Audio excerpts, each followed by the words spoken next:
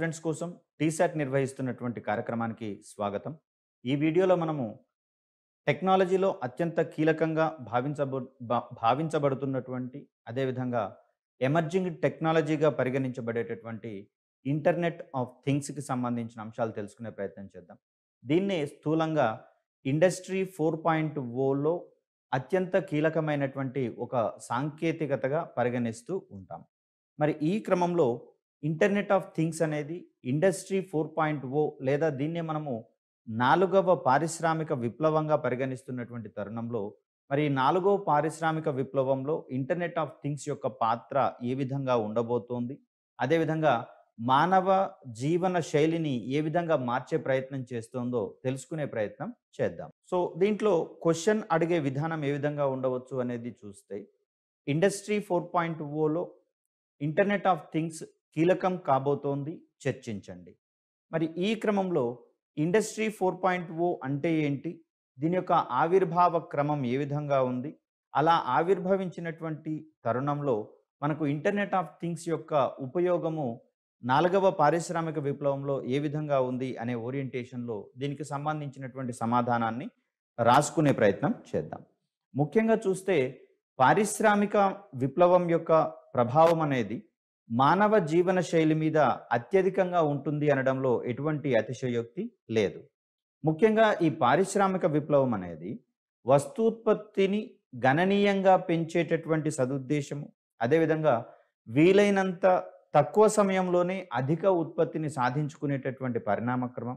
అదేవిధంగా చూస్తే యంత్రాల వాడకంతో మానవ శ్రమని తక్కువగా చేస్తూ అధికంగా వస్తూత్పత్తికి బాటలు వేసినటువంటి క్రమాన్ని మనం ఇక్కడ గమనించవచ్చు పారిశ్రామిక విప్లవానికి సంబంధించి. అదే మానవ శ్రమతో గనక మనం అబ్జర్వ్ చేస్తే ఇక్కడ ఎక్కువ సమయం పట్టేది వస్తూత్పత్తి కోసం అదేవిధంగా తక్కువ మొత్తంలో వస్తువులు తయారయ్యేటటువంటి పరిస్థితి ఉండేది తద్వారా యాజమాన్యానికి కావచ్చు సంబంధిత సిబ్బందికి కావచ్చు ఆదాయం తక్కువగా ఉండేటటువంటి పరిస్థితి లాభాలు కూడా ఎక్కువగా వచ్చేటటువంటి పరిస్థితి ఉండేది కాదు. మరి ఇక్కడ పారిశ్రామిక విప్లవాల ఆవిష్కరణతో వస్తుత్పత్తి అనేది పెద్ద మొత్తంలో ఉత్పత్తి చేయడం అనేది సాధ్యమైంది. వీలైనంత తక్కువ సమయంలోనే వస్తుత్పత్తికి బాటలు వేయడం అనేది జరిగింది. ఇక్కడ మానవ శ్రమని వస్తువులను తయారు చేయడంలో కాకుండా యంత్రాలను ఆపరేట్ చేసేటటువంటి సందర్భంగా మానవ శ్రమను వినియోగించుకునేటటువంటి వీలు చిక్కింది. తద్వారా మానవులకు ఉన్నటువంటి విశేష నైపుణ్యం అనేది ఆ యంత్రాల రూపంలో ఆవిష్కరణకు బాటలు వేయడం అనేది జరిగింది. అదేవిధంగా యంత్రాలను పనిచేయించడంలో వారు మరికొన్ని మెలకువలను సంపాదించుకునేటందుకు వీలు కల్పించడం అనేది జరిగింది.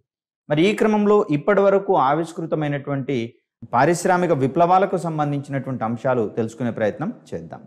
ఇక్కడ చూస్తే ఆన్సర్లో ఓపెనింగ్ చేసుకున్న మనము మానవ జీవన శైలిని సమూలంగా మార్చివేసినటువంటి పలు సంఘటనల్లో పారిశ్రామిక విప్లవం అనేది ముందు వరుసలో నిలుస్తుంది అనేది చెప్పుకున్నాం.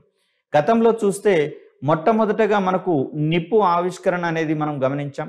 అదేవిధంగా తర్వాతి క్రమంలో చక్రం యొక్క ఆవిర్భావం జరిగిందనుకున్నాం. అదేవిధంగా దీన్ని అడ్డు అవసరాలకు అంటే అడ్డు అడ్డంగా వీటిని వినియోగించినటువంటి క్రమము అదేవిధంగా నిలువుగా దీనిని వినియోగించినటువంటి క్రమాన్ని మనం ఇక్కడ గమనించాము. సో నిలువుగా అయితే ఇది రవాణా రంగంలో అత్యంత కీలకమైనటువంటి ఆవిష్కరణగా మిగిలింది. ఈ అడ్డుగా నిలు ఉపయోగించేటటువంటి క్రమంలో ఇది కుమ్మరి చక్రంగా ఆవిర్భవించి కుండల తయారీ వంటి వినూత్నమైనటువంటి వృత్తులను తీసుకుని రావడం అనేది జరిగింది. ఈ క్రమంలోనే పారిశ్రామిక విప్లవాలకు సైతం అత్యంత ఆదరణ ఉంది ప్రాధాన్యత కూడా ఉన్నటువంటి సంగతిని ఇక్కడ మనం గమనించాలి. మరి మొట్టమొదటి పారిశ్రామిక విప్లవానికి సంబంధించి చూస్తే ఇక్కడ నీరు కావచ్చు నీటి ఆవిరికి ఉండేటటువంటి శక్తి కావచ్చు ఈ రెండింటి ప్రాతిపదికన ఆవిరి యంత్రాన్ని రూపొందించుకొని మరి ఆ ఆవిరి యంత్రం సాక్షిగా మొదటి పారిశ్రామిక విప్లవాన్ని ప్రారంభించుకున్నాం మనం. మరి ఇక్కడ చూస్తే సాధారణంగా చల్లగా ఉండేటటువంటి నీటితో కంపేర్ చేస్తే వేడి నీటికి శక్తి అధికంగా ఉంటుందండి. దీనికి ప్రధానమైనటువంటి కారణంగా నీటి అణువులతో కంపేర్ చేస్తే వేడి నీటి అణువులలో గతిజ శక్తి అనేది కొంచెం ఎక్కువగా ఉంటుంది కాబట్టి సో ఆ గతిజ శక్తిని ఆధారంగా చేసుకుని వేడి నీటికి అత్యధిక శక్తి ఉంటుంది చల్లని నీటితో కంపేర్ చేస్తే అనుకుంటాం. అదేవిధంగా వేడి నీటితో కంపేర్ చేస్తే నీటి ఆవిరికి మరింత శక్తి ఉంటుందండి. సో దీనికి ప్రధాన కారణంగా ఆవిరిలో ఉండేటటువంటి నీటి అణువులు లేదా నీటి కణాల యొక్క గతిజ శక్తి మిగిలిన రెండు రూపాలతో కంపేర్ చేస్తే అత్యధికంగా ఉంటుంది కాబట్టి ఇటువంటి నీటి ఆవిరి సహాయంతో భారీ టర్బైన్లను సైతం తిప్పుకుంటూ అక్కడ విద్యుత్ ఉత్పత్తిని ప్రస్తుతం మనం చేస్తున్నటువంటి సంగతి మనందరికీ తెలిసిందే. మరి ఈ విద్యుత్ ఆవిర్భావానికి ముందు వచ్చినటువంటిదిగా మనకి ఇక్కడ మొదటి పారిశ్రామిక విప్లవం అనేది కనిపిస్తూ ఉంది. మరి ఈ క్రమంలో ఈ ఆవిరి యంత్రాలను ఆధారంగా చేసుకుని రైలు ఇంజన్ లేదా దీన్ని మనం స్టీమ్ ఇంజన్ పేరుతో మొదట దీన్ని మనము ఉపయోగించుకోవడం అనేది జరిగింది. మరి స్టీమ్ ఇంజన్ సహాయంతో రైలు బోగీలను లాగుకుంటూ అక్కడ రవాణా రంగం మరింత అభివృద్ధి చెందినటువంటి క్రమాన్ని మనం గమనించవచ్చు. సో అలా ఆవిరి యంత్రం యొక్క సాక్షిగా మొదటి పారిశ్రామిక విప్లవం ప్రారంభం కావడం జరిగింది. ముఖ్యంగా చూస్తే పద్దెనిమిది పంతొమ్మిది శతాబ్దాలలో యూరోప్ అదే విధంగా ఉత్తర అమెరికాలలో ఈ మొట్టమొదటి పారిశ్రామిక విప్లవం వెలుగు చూసినటువంటి సంగతిని మనందరం గమనించాలి. సో తద్వారా అక్కడ వస్తూత్పత్తికి అధిక బాటలు వేయడం అనేది జరిగింది. తద్వారా అది ఇతర ప్రపంచ దేశాలలో ఉన్నటువంటి మార్కెట్లలోకి సదరు వస్తువులను ముంచెత్తి వేయడానికి కారణమైనటువంటి ఒక అంశంగా మనకి ఇక్కడ మొదటి పారిశ్రామిక విప్లవం అనేది కనిపిస్తూ ఉంది. ముఖ్యంగా దీంట్లో కీలకమైనటువంటి పాత్ర పోషించిన అంశంగా మనకి ఇక్కడ ఆవిరి యంత్రం అనేది కనిపిస్తూ ఉంది. అదేవిధంగా చూస్తే రెండవ పారిశ్రామిక విప్లవానికి సంబంధించి మాట్లాడుకోవాల్సి వస్తుంది. ముఖ్యంగా చూస్తే పద్దెనిమిది వందల డెబ్బై మరియు పంతొమ్మిది వందల పద్నాలుగుల మధ్య ఇక్కడ ఇప్పటికే పరిశ్రమలు స్థాపించడం అనేది జరిగింది. సో పారిశ్రామిక విప్లవం అంటేనే పరిశ్రమలతో ఇమిడి ఉన్నటువంటి అంశంగా మనకు కనిపిస్తూ ఉంటుంది కాబట్టి మరి అప్పటికే స్థాపించబడినటువంటి పరిశ్రమలలో శక్తి ఉత్పత్తి కోసము బొగ్గు వంటి వాటిని ఉత్పత్తి చేయడం అనేది జరిగింది. మరి బొగ్గు వాడకంతో మనకు వచ్చేటటువంటి మొట్టమొదటి సమస్యగా మనకు పర్యావరణ సమస్య అనేది ఒకటి తెలుస్తుంది. మరి ఈ పర్యావరణ సమస్యను తగ్గించుకునేటటువంటి ప్రయత్నాలు చేయాల్సి వస్తుంది. తద్వారా ఇక్కడ పర్యావరణ హితమైనటువంటి అవసరాల కోసము మనం శక్తి వనరులను వినియోగించుకోవాల్సి వస్తుంది కాబట్టి బొగ్గుకు ప్రత్యామ్నాయంగా ఉండేటటువంటి శక్తి వనరుల వినియోగం పట్ల అక్కడ ప్రయోగాలు కావచ్చు పరిశోధనలు కావచ్చు కావించడం జరిగింది. తద్వారా మనకు ఇక్కడ ఉన్నటువంటి శక్తి వనరుగా అంటే అప్పటికే స్థాపితమైనటువంటి పరిశ్రమలలో శక్తి వనరుగా విద్యుత్ శక్తిని వినియోగించడం అనేది రెండవ పారిశ్రామిక విప్లవంలోని అత్యంత కీలకమైనటువంటి అంశంగా కనిపిస్తుంది తద్వారా భారీ స్థాయిలో వస్తూత్పత్తికి బాటలు వేసినటువంటి ఒక పరిణామ క్రమం మనకు రెండవ పారిశ్రామిక విప్లవం కాలంలో ఆవిష్కృతం కావడం జరిగింది. ఇక్కడ విద్యుత్ శక్తి వాడకంతో ప్రారంభమైనటువంటి రెండవ పారిశ్రామిక విప్లవ కాలంలోని మరికొన్ని ఆవిష్కరణలు గనక మనం గమనిస్తే టెలిఫోన్ కావచ్చు విద్యుత్ బల్బు కావచ్చు ఫోనోగ్రాఫ్ దీన్నే మనము గ్రామ్ ఫోన్ అంటాం. గ్రామ్ ఫోన్ రికార్డు వంటివి మనందరికీ తెలిసిందే. దీంట్లో సౌండ్ని రికార్డు చేసి దానిని పునరుత్పత్తి చేసేటటువంటి సదుపాయం ఉన్నటువంటి ఒక పరికరంగా మనకు ఇక్కడ గ్రామఫోన్ లేదా ఫోనోగ్రాఫ్ అనేది కనిపిస్తుంది ఇక్కడ గుండ్రంగా ఉన్నటువంటి స్టీల్ ప్లేట్ల మీద ట్రాక్ల వెంబడి సమాచారాన్ని రికార్డు చేసేటటువంటి వెసులుబాటు ఉంటుంది. ఈ ట్రాక్ల వెంబడి ఒక నీడిల్ లేదా స్టైలస్ అనేటటువంటి దానిని ప్రయాణించేటట్లుగా చేసినప్పుడు ఇక్కడ ఉన్నటువంటి ఈ సమాచార సంకేతాలకు అనుగుణంగా అది ప్రకంపనలు చేస్తుంది. మరి ఈ ప్రకంపనలే అక్కడ ఉన్నటువంటి పరికరంలో శబ్ద తరంగాలుగా పునరుత్పత్తి చేయబడతాయి.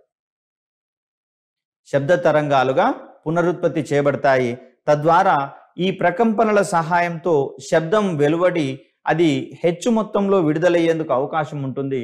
కాబట్టి ఈ గ్రామ్ఫోన్ రికార్డుని మనం ఇక్కడ శబ్దాన్ని రికార్డు చేయగల అదేవిధంగా పునరుత్పత్తి చేయగలిగేటటువంటి ఒక ఉపకరణంగా మనం చూస్తూ ఉంటాం. ఇది మనకు రెండవ పారిశ్రామిక విప్లవ కాలంలో వెలుగొందినటువంటి ఒక ఆవిష్కరణగా చూస్తూ ఉన్నాం. దీనితో పాటుగా ఇంటర్నల్ కంబషన్ ఇంజన్ అంటే అంతర్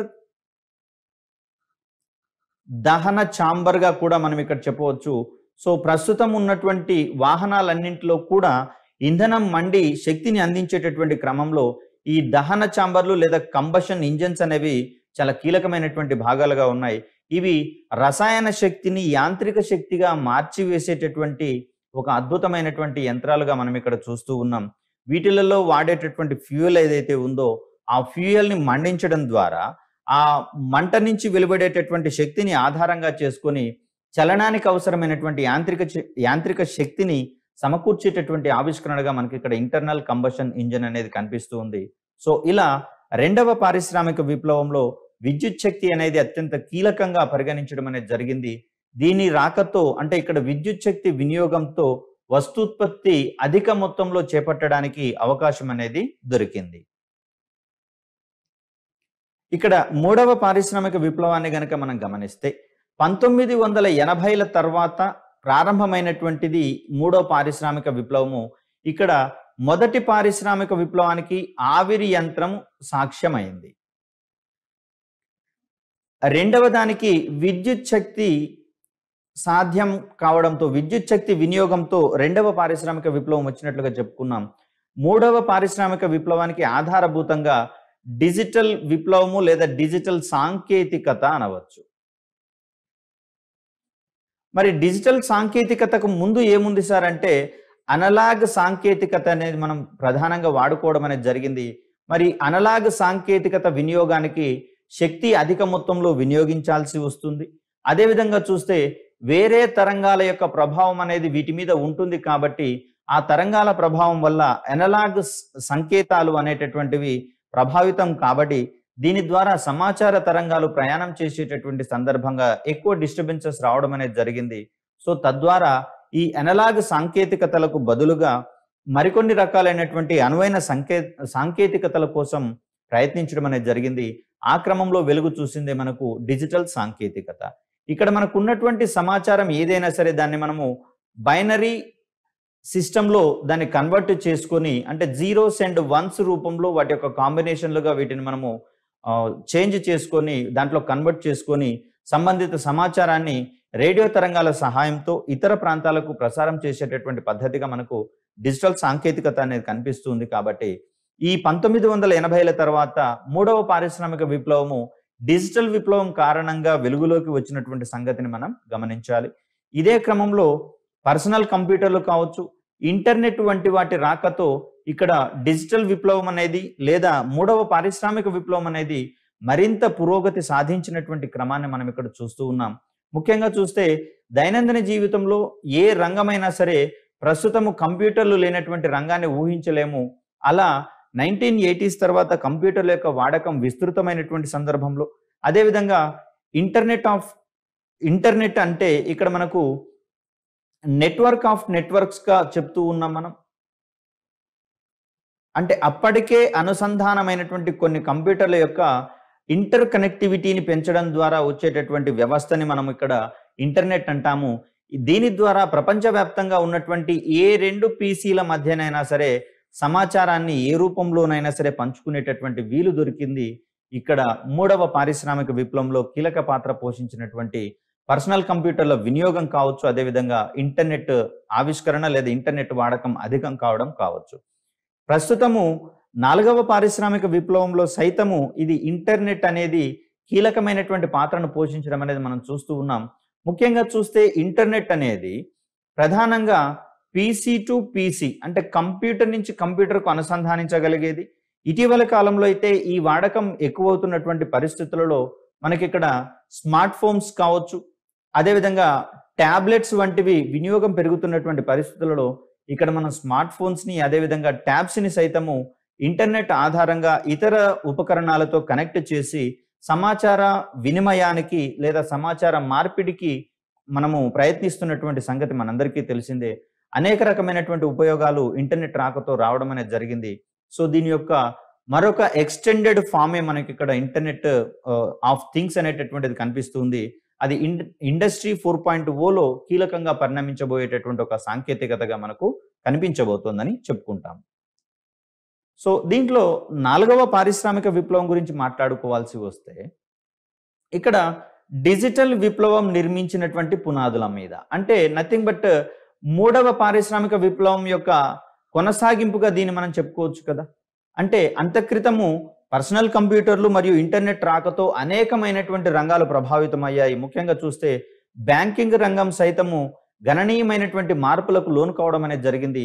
అంత క్రితం మొత్తము మాన్యువల్ చెకింగ్స్ అనేవి ఎక్కువగా జరిగేవి బ్యాంకింగ్ రంగంలో లెడ్జర్ల విషయంలో కావచ్చు. అదేవిధంగా ఫోలియోల రూపంలో. ఓకేనండి. సో ఇలా ఏ ట్రాన్సాక్షన్ జరిగినా కూడా పేపర్ల ద్వారా కాగితాల మీదనే జరిగేటటువంటి పరిస్థితి మనకు కనిపిస్తూ ఉంది. ముఖ్యంగా కంప్యూటర్లు మరియు ఇంటర్నెట్ రాకతో కాగిత రహిత బ్యాంకింగ్ వ్యవస్థ అనేది సాకారం కావడం అనేది జరిగింది. ఇటీవల కాలంలో ఇంకొక అడుగు ముందుకు వేసి మరింత కనిష్ట స్థాయిలలో కాగిత వినియోగాన్ని సాధించేటటువంటి క్రమాన్ని కూడా మనం ఇక్కడ చూడవచ్చు. ముఖ్యంగా చూస్తే ఈమెయిల్ వంటి వాటి రాకతో సైతము ఒక అఫీషియల్ మెయిల్స్ని పంపించేటటువంటి క్రమంలో వారి మధ్య అఫీషియల్గా కాగిత రహిత కార్యక్రమాలు కావచ్చు లావాదేవీలు కావచ్చు అత్యధికం కావడం జరిగింది మూడవ మరియు నాలుగవ పారిశ్రామిక విప్లవాల కాలంలో. మరి ఈ క్రమంలో చూస్తే డిజిటల్ విప్లవం నిర్మించినటువంటి పునాదుల మీదనే నాలుగవ పారిశ్రామిక విప్లవం ప్రధానంగా ఆవిష్కృతమైనట్లుగా మనం ఇక్కడ గమనించవచ్చు. ఇందులో భాగంగా భవిష్యత్ సాంకేతికతలు వీటిని మనము ఎమర్జింగ్ టెక్నాలజీస్ అని చెప్పుకున్నాం లేదా అభివృద్ధి చెందుతున్నటువంటి టెక్నాలజీలు లేదా ఉద్భవిస్తున్నటువంటి సాంకేతికతలు అని చెప్పేసి అనుకున్నాం. వీటన్నింటిలలో కూడా ఇంటర్నెట్ యొక్క వాడకం గణనీయంగా ఉన్నట్లుగా మనం ఇక్కడ గమనించవచ్చు. సో ఈ సందర్భంగా చూస్తే నానో టెక్నాలజీ కావచ్చు స్వయం చోదక వాహనాలు ఆటో డ్రైవింగ్ వెహికల్స్ కావచ్చు లేదా సెల్ఫ్ డ్రైవింగ్ వెహికల్స్ కావచ్చు లేదా డ్రైవర్ లెస్ వెహికల్స్ అని కూడా అంటాం వీటిని. అదేవిధంగా బయోటెక్నాలజీ ఇటువంటి అంశాలలో సైతము వీటన్నిటి యొక్క సమాహారంగా మనకి ఇక్కడ నాలుగవ పారిశ్రామిక విప్లవం అనేది కనిపిస్తూ ఉంది. సో ఒక రకంగా చూస్తే ఏదైనా ఒక రకము దానంతట అదే ప్రత్యేకంగా మనగలిగేటటువంటి పరిస్థితి లేకుండా నాలుగవ పారిశ్రామిక విప్లవంలో ఒకదానితో ఒకటి అనుసంధానమై ప్రయత్నించుకోవాల్సి వస్తుంది. సో ఈ సందర్భంలోనే మనకు కాంపిటేషనల్ ఫార్ ఫార్మకాలజీ అనేటటువంటివి కూడా మనకు అందుబాటులోకి రావడం అనేది జరుగుతుంది. అంటే ఇక్కడ ఔషధ రంగంలో సైతము ఔషధ రంగంలో సైతము కాంపిటేషనల్ మెథడ్స్ ద్వారా మనము దీనిని అభివృద్ధి పరుచుకునేటటువంటి క్రమాన్ని సైతం చూస్తూ ఉన్నాం కదా. అలా ఒకదానితో ఒకటి ఇంటర్ డిపెండెంట్గా ఉంటూ అవన్నీ కూడా ఇంటర్నెట్ సహాయంతో మరింత అభివృద్ధి పదంలోకి వెళ్ళేందుకు అవకాశం అనేది కలుగుతూ ఉంది. ముఖ్యంగా చూస్తే ఇప్పటి వరకు వైఫైతో అనుసంధానించబడేటటువంటి ఇక్కడ కంప్యూటర్ వ్యవస్థలు అంటే డెస్క్టాప్ కావచ్చు ల్యాప్టాప్ కావచ్చు స్మార్ట్ ఫోన్ ట్యాబ్లెట్ వంటివి మనకు గతంలో అయితే ఒకదానితో ఒకటి అనుసంధానించడానికి వీలుగా ఉండేవి. ప్రస్తుతము ఇంటర్నెట్ ఆఫ్ థింగ్స్ రాకతో ఏ ఉపకరణాలైతే ఇంటర్నెట్ కనెక్టివిటీకి అవసరం లేదో వాటిని సైతం ప్రస్తుతము మనము సెన్సార్స్ సహాయంతో ప్రత్యేకమైనటువంటి సెన్సార్స్ సహాయంతో ఇంటర్నెట్కి అనుసంధానించి వినియోగించుకునేటటువంటి క్రమాన్ని ఐఓటీ రాకతో ఆవిష్కృతం చేసుకోవడం జరిగింది. ముఖ్యంగా చూస్తే కెమెరాల వంటి వాటికి గతంలో అయితే ఇంటర్నెట్ యొక్క అవసరం లేకపోయేది మనందరికీ తెలిసిందే డిఎస్ఎల్ఆర్ కెమెరాస్ కావచ్చు ఇతరత్ర కెమెరాలన్నీ కూడా మామూలుగా పనిచేసేటటువంటి పరిస్థితి ఉండేది. అయితే వీటికి వైఫై కనెక్ట్ చేసేటటువంటి సెన్సార్లను అమర్చడం ద్వారా తీసినటువంటి ఫొటోస్ను ఇమీడియట్గా క్లౌడ్ స్టోరేజ్లకు లేకపోతే ఇన్స్టాగ్రామ్ ఫేస్బుక్ వంటి సోషల్ మీడియా ప్లాట్ఫామ్స్కు ఇమీడియట్గా అప్లోడ్ చేయగలిగేటటువంటి సాంకేతికత ప్రస్తుతం రావడం అనేది జరిగింది.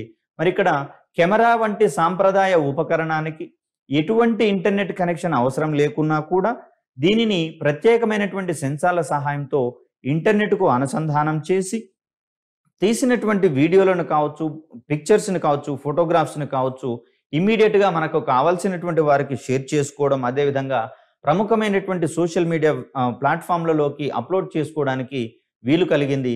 మరి ఇది మనం ఒక రకంగా ఇంటర్నెట్ ఆఫ్ థింగ్స్ యొక్క ప్రాథమికమైనటువంటి ఉపయోగంగా మనం ఇక్కడ చెప్పుకోవచ్చు. సో ముఖ్యంగా చూస్తే మానవాళికి నాణ్యమైనటువంటి జీవనం. అంటే ఎటువంటి అసమానతలు లేని అసౌకర్యాలకు గురి కాని. ఫర్ ఎగ్జాంపుల్ చూస్తే ఎటైనా ఒక కొత్త ప్రాంతానికి వెళ్ళాల్సి వస్తే దారి తెలియని పరిస్థితులలో మనము జీపీఎస్ ద్వారా మార్గాన్ని కనుక్కుంటూ మన యొక్క ప్రయాణాన్ని సక్రమంగా నిర్వర్తించుకునేటటువంటి వీలుంటుంది. ఒకవేళ ప్రయాణ మార్గంలో ట్రాఫిక్ని అంచనా వేసుకుంటూ సరిగా ఉండేటటువంటి మేలైనటువంటి లేదా మెరుగైనటువంటి మార్గాలను సూచించుకుంటూ వీలైనంత కనిష్ట సమయంలోనే తక్కువ సమయంలోనే మన యొక్క ప్రయాణాన్ని ముగించుకొని గమ్యస్థానాన్ని చేరుకునేటటువంటి వీలు కల్పించడం జరిగింది. జిపిఎస్ వంటి సాంకేతికతల రాకతోటి. మరి అలా చూస్తే మనకు నాణ్యమైనటువంటి జీవనం సంక్రమించబోయేటటువంటి అవకాశాలు కావచ్చు. అదేవిధంగా అసమానతల తొలగింపు. ప్రస్తుతము మానవులలో ఆదాయాన్ని బట్టి వ్యక్తి యొక్క అర్హతలను నిర్ధారించేటటువంటి క్రమం పోయి తన దగ్గర ఉన్నటువంటి నైపుణ్యాల ఆధారంగా. ముఖ్యంగా చూస్తే పట్టణీకరణ వంటి అంశాల రాకతో కులపరమైనటువంటి అంశాలు చాలా తగ్గిపోయినట్టుగా మనం చూసాం ఎక్కడైతే అవకాశాలను వినియోగించుకునేటటువంటి క్రమంలో కుల మతాల ప్రస్తావన లేకుండా అక్కడ నైపుణ్యాల ఆధారంగా అవకాశాలను పొందేటటువంటి క్రమాన్ని మనం గమనించాము. అని గత వీడియోలలో మనం చెప్పుకున్నాం కదా ఈ క్రమంలో చూస్తే సాంకేతికత రాకతో ఇటువంటి కులపరమైన మతపరమైనటువంటి అసమానతలు సమూలంగా తగ్గిపోయేందుకు అవకాశం అనేది ఏర్పడింది. అదేవిధంగా చూస్తే ప్రపంచ దేశాల యొక్క ఆదాయ వనరులను పెంపొందించేటటువంటి లక్ష్యాలతో ఇక్కడ నాలుగవ పారిశ్రామిక యుగంలో ఇంటర్నెట్ ఆఫ్ థింగ్స్ ప్రధాన భూమిక పోషిస్తోంది అనేది మనం ప్రముఖంగా చెప్పుకోవాల్సినటువంటి విషయం. ముఖ్యంగా చెప్పాలంటే ఇంటర్నెట్ ఆఫ్ థింగ్స్కి సంబంధించి ఇది ఇంటర్నెట్ కనెక్టివిటీ అవసరం లేనటువంటి వస్తువులను సైతము మనము ప్రత్యేకమైనటువంటి సెన్సార్ల ద్వారా అనుసంధానించేటటువంటి వీలుందని చెప్పుకున్నాము. ఈ క్రమంలో చూస్తే సెన్సార్ల యొక్క ఉత్పత్తి గణనీయంగా పెంచుకోవాల్సి వస్తుంది సెన్సార్స్ యొక్క ఉత్పత్తి.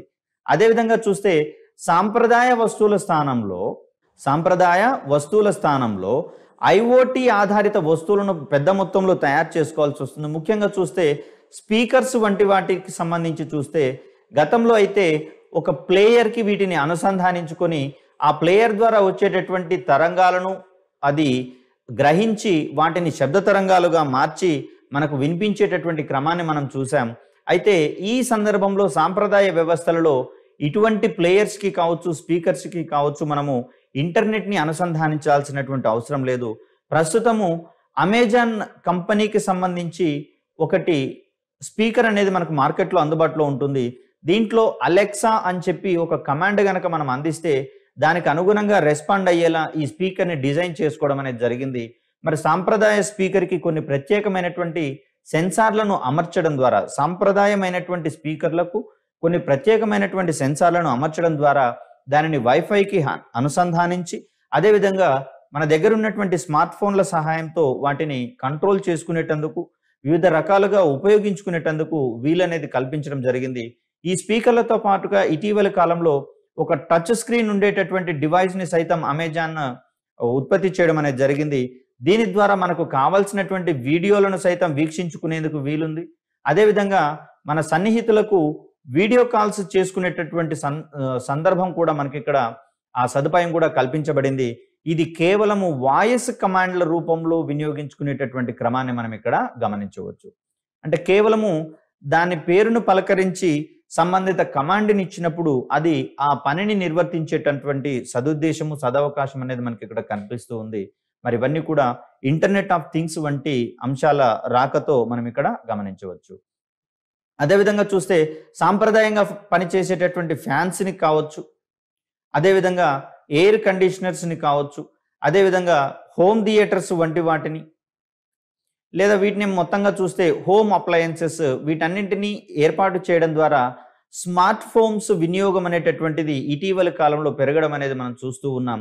ఇప్పటికే ఎల్జీ శాంసంగ్ వంటి కంపెనీలు ఆ గృహాలకు అవసరమైనటువంటి స్మార్ట్ అప్లయన్సెస్ని రూపొందించడంలో అవి కీలకమైనటువంటి పరిశోధన చేస్తూ ఉన్నట్లుగా మనం ఇక్కడ గమనించవచ్చు.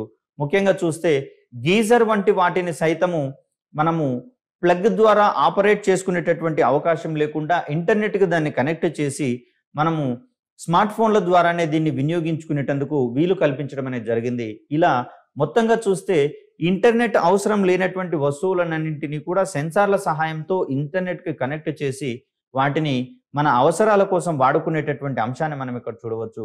మరి దీంట్లో ఉన్నటువంటి ప్రయోజనం ఏంటి సార్ అంటే అక్కడ ప్రధానంగా శక్తి పొదుపు అనేది జరుగుతుంది శక్తి ఆదా అనేది జరుగుతుంది. ప్రధానంగా ఇప్పుడున్నటువంటి శక్తి వనరుల మీద ఉండేటటువంటి డిమాండ్ని కొంత మేరకు తగ్గించి శక్తిని పొదుపుగా వినియోగించుకునేందుకు అవకాశం అనేది ఏర్పడుతుంది. సో ఇక్కడ ఇండస్ట్రీ ఫోర్ పాయింట్ ఓ అని పిలుచుకునే నాలుగో పారిశ్రామిక విప్లవంతో సైబర్ ఫిజికల్ సిస్టమ్స్ దీన్నే మనము రోబోటిక్స్కి సంబంధించినటువంటి అంశంగా చెప్తూ ఉంటాం. ఇక్కడ రోబోటిక్స్కి సంబంధించి కూడా చూస్తే రిమోట్లీ ఆపరేటెడ్ అనేది మనకు కనిపిస్తూ ఉంది. అంటే ఏదైనా ఒక రిమోట్ సహాయంతో కావచ్చు లేదా ప్రత్యేకమైనటువంటి డివైజ్ల సహాయంతో కావచ్చు లేదా యాప్ మాధ్యమంగా కావచ్చు వీటిని మనం కంట్రోల్ చేసేటందుకు వీలు కలుగుతుంది. అదేవిధంగా చూస్తే క్లౌడ్ కంప్యూటింగ్ కృత్రిమ మేధ దీన్ని మనము కాగ్నేటివ్ కంప్యూటింగ్ అనేటటువంటి అంశంగా చూస్తాం. దీనితో పాటుగా ఇంటర్నెట్ ఆఫ్ థింగ్స్ అనేటటువంటిది ఒక నాలుగవ అంశంగా మనకి ఇక్కడ ఆవిర్భవిస్తూ ఉంది. ముఖ్యంగా సాంప్రదాయమైనటువంటి పారిశ్రామిక ఉత్పత్తులన్నింటినీ కూడా వైఫై ఆధారిత ఉత్పత్తులుగా మార్చడంలో మనకి ఇక్కడ ఇంటర్నెట్ ఆఫ్ థింగ్స్ అనేది కీలకంగా ఉపయోగపడుతుంది. ఇక్కడ వస్తువులను రూపొందించడమే కాదు వాటిని ఇంటర్నెట్ మాధ్యమంగా వినియోగించుకోవడానికి సైతం ఇది అవకాశాన్ని అనేది కల్పిస్తూ ఉంది. ఇక్కడ సిస్కో సిస్టమ్స్ వారి అంచనాల ప్రకారము రెండు వేల ఎనిమిది రెండు వేల తొమ్మిదిల మధ్య ఐఓటి ఆవిర్భవిస్తే అందులో వృద్ధి రెండు వేల పది నాటికి వన్ పాయింట్ ఎయిట్ ఫోర్గా నమోదైనట్లుగా మనం ఇక్కడ గమనించవచ్చు. సో ఇక్కడ ఫార్చ్యూన్ బిజినెస్ ఇన్సైట్స్ వారి ప్రకారము ఐఓటీ మార్కెట్ అనేది ఇరవై ఐదు పాయింట్ నాలుగు శాతము అంటే అంతక్రితము కేవలం one point eight four percentage మాత్రమే ఉండగా ఇది twenty five point four percent పెరుగుదల నమోదవుతున్నట్లుగా మనం ఇక్కడ అంచనా వేయబడింది. ముఖ్యంగా చూస్తే రెండు వేల ఇరవై ఒకటిలో మూడు వందల ఎనభై ఒక్క మిలియన్ డాలర్ల నుండి రెండు వేల ఇరవై ఎనిమిది నాటికి వన్ పాయింట్ ఎయిట్ ట్రిలియన్ డాలర్లకు ఇది అభివృద్ధి చెందేటటువంటి క్రమాన్ని మనం ఇక్కడ గమనించవచ్చు. అంటే ఇక్కడ కేవలం ఐఓటి ఆధారిత ఉత్పత్తుల ద్వారా పారిశ్రామికంగా గణనీయమైనటువంటి అభివృద్ధి సాధించబోతున్నాం అనేది మనకి ఇక్కడ ఉన్నటువంటి గణాంకాల ఆధారంగా తెలుస్తుంది. ఇదే రెండు వేల ఇరవై రెండు నాటికి గనక చూస్తే ఒకదానితో ఒకటి కనెక్ట్ అయ్యి కమ్యూనికేట్ చేసుకునేటటువంటి విస్తారమైనటువంటి ఐఓటి పరికరాలు వాటి ఆధారంగా వ్యాపార కార్యకలాపాలు మరింత సమర్థవంతంగా సహ పనిచేయడంలో ఇవి సహాయపడతాయని చెప్పేసి నేను అనుకుంటున్నాం. ఇప్పటికే మనకు పిఓఎస్ పరికరాలు రావడం జరిగింది. క్యాష్లెస్ ట్రాన్సాక్షన్స్ని నిర్వహించుకునేటటువంటి క్రమంలో భాగంగా. అదేవిధంగా చూస్తే స్మార్ట్ కార్డ్స్ లేకపోతే చిప్ ఉన్నటువంటి క్రెడిట్ మరియు డెబిట్ కార్డ్స్ సహాయంతో ఎన్ఎఫ్సి వంటి సాంకేతికతలు సైతం మనకు అందుబాటులోకి రావడం అనేది జరిగింది. వీటి సహాయంతో పూర్తి సెక్యూర్డ్ క్యాష్ ట్రాన్సాక్షన్స్ని నిర్వర్తించుకోవడానికి మనకు వీలు కలిగింది. తద్వారా థర్డ్ పార్టీ జోక్యం లేకుండానే మన యొక్క కార్యకలాపాలను సమర్థవంతంగా నిర్వర్తించుకునేందుకు అవకాశం అనేది చిక్కింది. ఐఓటీ రాకతో ప్రపంచం యొక్క ఆర్థిక రంగంపై గణనీయమైనటువంటి ప్రభావం పడుతున్నట్లుగా మనం ఇక్కడ గమనించవచ్చు. ఇప్పటికే పలు వా వ్యాపార వాణిజ్య సంస్థలు తమ కార్యకలాపాలను పూర్తి స్థాయిలో డిజిటల్ కార్యకలాపాలుగా మార్చుకొని మరికొన్ని నూతన వాణిజ్య విధానాలను ఆవిష్కరించుకునేటందుకు వీలుంటుంది. ముఖ్యంగా చూస్తే ఐబిఎం వంటి సంస్థలు పూర్తి ఆటోమేటెడ్గా అంటే మానవుల యొక్క ప్రమేయం లేకుండానే వీటిని మనము ఆటోమేటెడ్ ఫ్యాక్టరీస్ని ఎస్టాబ్లిష్ చేసుకోవడం అనేది జరిగింది. తద్వారా వీటి నుంచి కీబోర్డ్స్ని ఉత్పత్తి చేసేటటువంటి అంశాన్ని మనం చూస్తూ ఉన్నాం. వీటిలలో ఎటువంటి మానవులు కూడా పనిచేయనటువంటి పరిస్థితి కనిపిస్తుంది. పూర్తిగా ఆటోమేటెడ్గా ఇక్కడ ఉత్పత్తి అనేది సంభవిస్తుంది. సో మరి ఇలా చేసేటటువంటి క్రమంలో సంబంధిత మెషినరీని ఇంటర్నెట్కి అనుసంధానించినట్లయితే సూపర్విజన్ అనేది మనకు రిమోట్గా నిర్వర్తించుకునేటందుకు వీలుంటుంది. తద్వారా కార్యకలాపాలు నిర్వర్తించడంలో ఏ- ఏమైనా డిఫాల్ట్స్ కనుక ఏర్పడితే సకాలంలో సరిదిద్దుకునేందుకు అవకాశం అనేది ఉంటుంది. మరి వీటన్నింటికి మూల స్తంభంగా మూలకర్తగా మనకు ఇంటర్నెట్ ఆఫ్ థింగ్స్ అనేటటువంటిది ప్రధానంగా ఉండబోతోంది. తద్వారా వాటి యొక్క సామర్థ్యాన్ని అంటే ఇక్కడ ఈ సంస్థల యొక్క వాణిజ్య విధానాలను డిజిటల్ కార్యకలాపాలుగా మార్చుకున్నటువంటి సందర్భంలో ఆ సంస్థల యొక్క సామర్థ్యాన్ని గణనీయంగా పెంచుకుంటూ ఎక్కువ మందికి ఉద్యోగాలను కల్పిస్తూ ముఖ్యంగా చూస్తే యాంత్రీకరణ వల్ల కావచ్చు రోబోటిక్స్ వల్ల కావచ్చు మనము పెద్ద మొత్తంలో ఉద్యోగాలు కోల్పోబడతాయి అనేటటువంటి ఒక అపవాదం అనేది రావడం జరిగింది.